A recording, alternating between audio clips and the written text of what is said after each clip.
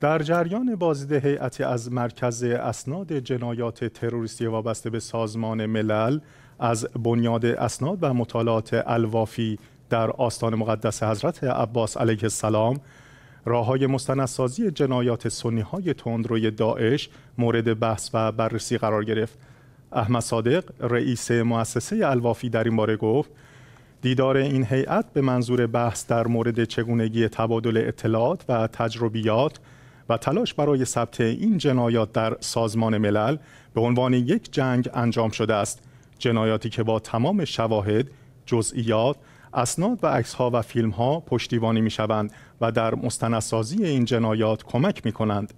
وی افزود آسان مقدس حضرت عباس علیه السلام یکی از اولین مراکزی است که به دنبال موضوع مستندسازی بوده و در این راستا مجموعه هایی چون دانشنامه فتوای دفاع کفایی و دانشنامه قتل عام اسپایکر را منتشر کرده است.